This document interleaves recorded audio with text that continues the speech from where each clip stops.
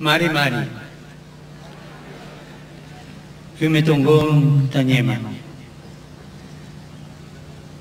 Doy gracias a Dios por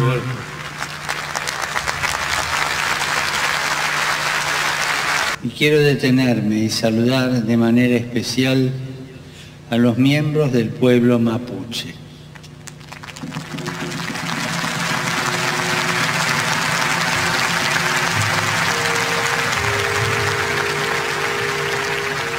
Así como también a los demás pueblos originarios que viven en estas tierras australes.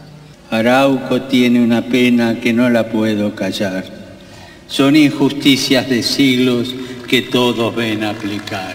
Lo hacemos en este aeródromo de Maqueque, Maquehue, en el cual tuvieron lugar graves violaciones de derechos humanos.